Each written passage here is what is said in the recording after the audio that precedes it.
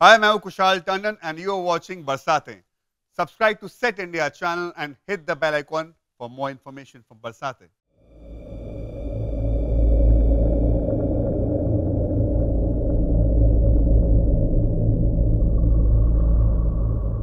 बाबा आपके लिए खाना लाया था कुछ तो खा लो नहीं चाहिए अरे बाबा जैसे बचपन में अपने हाथ से खिलाया करता था वैसे ही खिला दूँ क्या बाबा थोड़ा तो खा लो चाहिए मुझे नहीं खाएगा वो। आज उसके हलक से निवाला नहीं उतरेगा। ले जाइए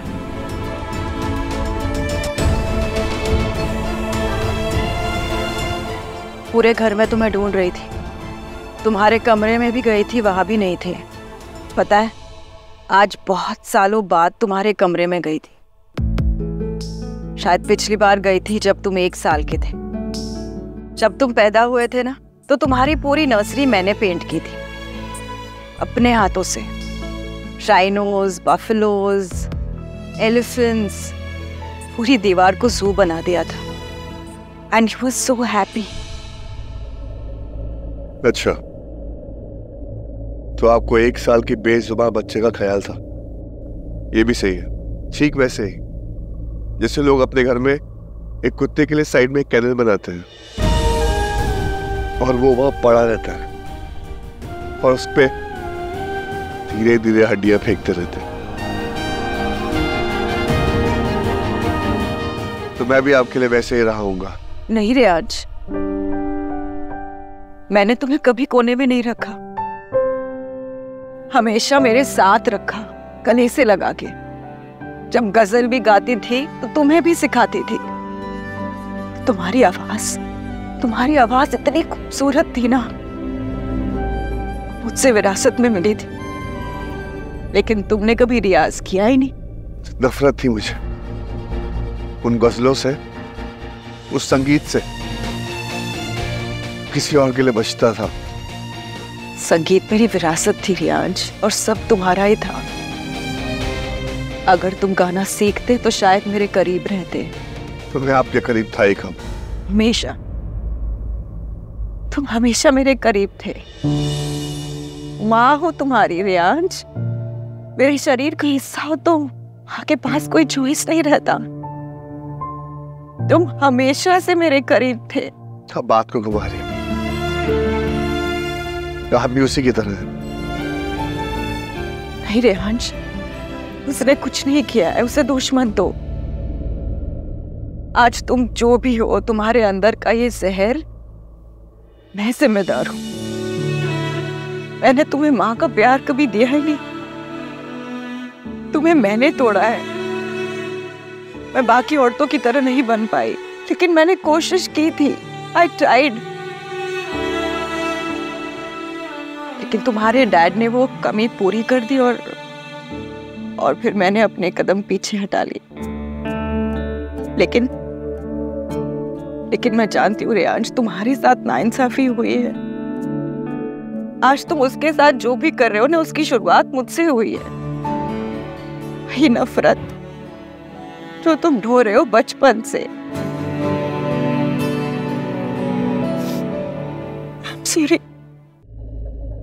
क्यों किया उसने ऐसा वैसा क्यों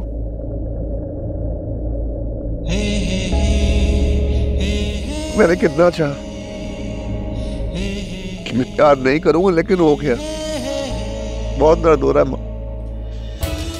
इतना दर्द सहा नहीं चाह क्यों किया उसने मेरे साथ कि उसने मुझे धोखा दिया? कि उसने मेरे प्यार को नहीं समझा?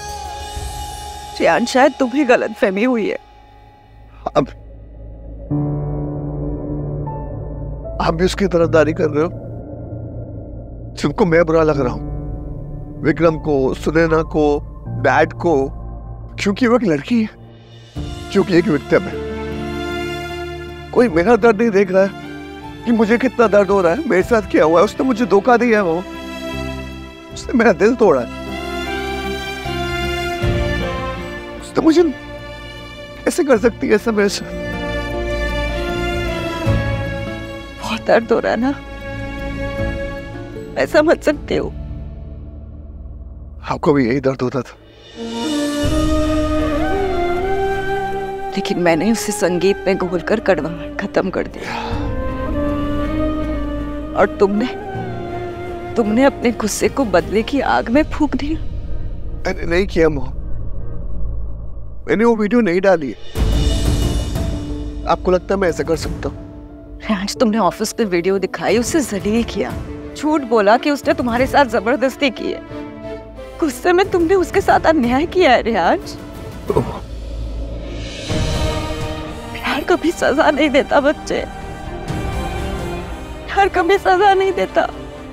मैंने उसे कोई सजा नहीं दी मोहम्मद। सॉरी दी। मुझे लगा था कि कोई खबर आएगी। मैंने आपकी उम्मीद जगाई। लेकिन आई एम सॉरी दी। आप इस दुनिया में नहीं रही। इतना बुरा क्यों लग रहा है मुझे? क्यों रो रही हूँ मैं इतना? उसे खोने के दुख से जो जो मेरा कभी था ही नहीं। कैसी हो? सालों बाद तुम्हें खत लिख रही हूँ। कैसी हो मैं जानती हूँ तुम जवाब नहीं दोगी। पर अपनी तरफ़ से ये ये चिट्ठी भेजना। वॉट अ पार्टी अगर बेस्ट फैमिली का कोई अवार्ड होता ना तो हमें और हमारे बच्चों को ही मिलता। क्यों ना हो? सारे बच्चे मुझ पे जो गए हैं। मिमी के? कौन है ये मिमी? एक कागज़ पे लिखा हुआ एक नाम? ये है मेरी ज़िंदगी का सच। एक ही तो चीज़ होती है दुनिया में जो जो आपसे कोई नहीं छीन सकता। एक माँ का अटूट प्यार। और मेरा तो वो भी दो बार छिन गया। कौन है ये मिमी हाँ? जिनका पूरा नाम तक नहीं पता मुझे। अरे, जिसने अपना एड्रेस तक नहीं लिखा इसमें। क्या करूँ ऐसे आधे अधूरे सच का मैं? क्या करूँ ऐसी ऐसी आधी अधूरी माँ का? I am proud of my girls they are strong women ज़िंदगी में कोई भी मुकाबला आए ना, वो उनका डट के मुकाबला करेंगी। My daughters are mamma's girls वो कहीं भी जाएँगी ना, याद रखा, सबसे पहले मेरे पास ही आएँगी। चाहे वो उनका पहला वोंड हो या पहला heartbreak they will come to me first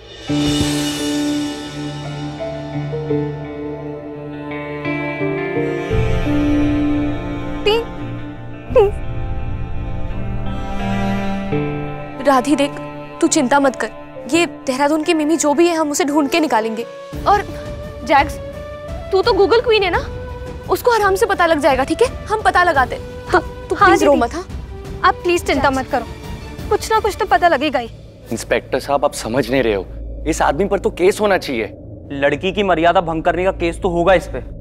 लेकिन ये जो लड़की है जिसका फ़ोटो लिया है उसका स्टेटमेंट होना बहुत ज़रूरी है। डोंट वरी सर हम उसके टच में हैं। जैसी ज़रूरत होगी वो अपना स्टेटमेंट देने आ जाएगी। वो नहीं आएगी। क्या? वो लड़की नहीं आएगी। तू ना ज़्यादा हीरो मत बन। और ये जो तूने अभी बोला है ना ये सब कुछ तेरे खिलाफ यूज़ होगा। अपना नहीं कम से कम अपनी बीवी के बारे में तो सोच। इंस्पेक्टर साहब मैं जरा वॉशरूम जा कर नहीं चुपचाप से यहाँ खड़ा रहे। अरे भाई वॉशरूम जाना है। अर्जेंट है यार। ठीक है जाओ। और हाँ भागने का ना सोचना भी मत। नहीं भागूँगा। जाओ। छोड़ोगे भाई? हाँ। रेवती उस दिन मेरे घर आई थी। कुछ परेशान सी थी। आराधना ने उससे बात भी की थी। वो गॉड। मैं कैसे इतना बेवकूफ़ बन गया? आराधना आई एम सो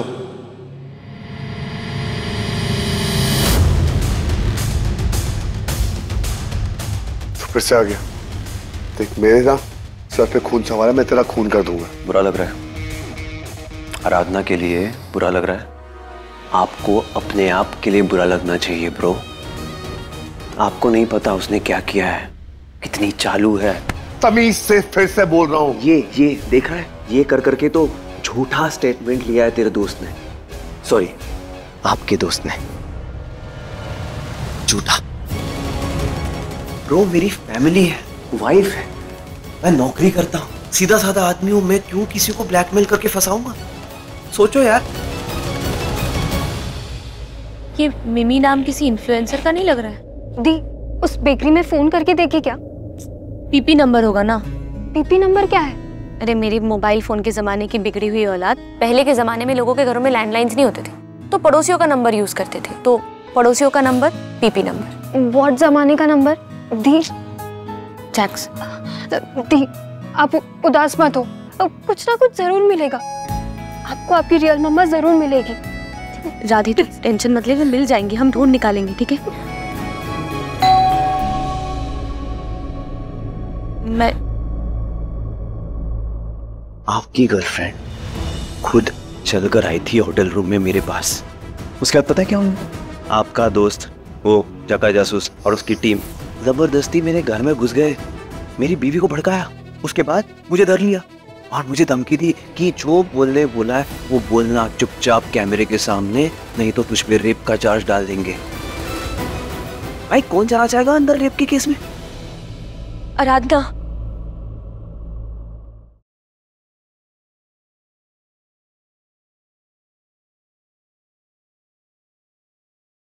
मम्मा।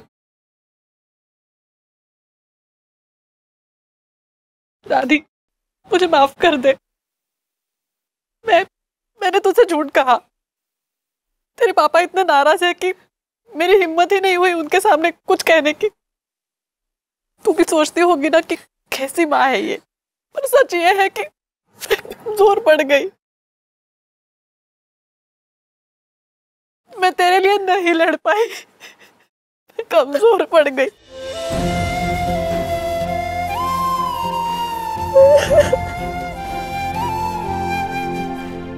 चलो, मान लेते कि मैं थोड़ा सा बुरा इंसान हूँ। मान लेते हैं कि मेरा रेवती के साथ कुछ था। हम दोनों का था। आराधना क्या कर रही थी उस दिन मेरे होटल में? सोचो। मर रही थी मुझसे मिलने के लिए। आपका फ़ोन आया था। उसने आपसे क्या कहा? कि वो अपने पापा के साथ है। I was standing right there I know she like to you कब फ्री होगी। डैडी की क्लिनिक पे आई थी। थोड़ा बिज़ी हूँ मैं मैं करती हूँ call. For more update subscribe to our channel click the show links and enjoy watching the videos